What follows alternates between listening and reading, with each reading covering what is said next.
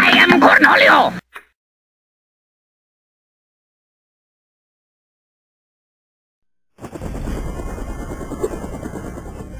My tactical instincts told me the sorceress would attack you here, so I...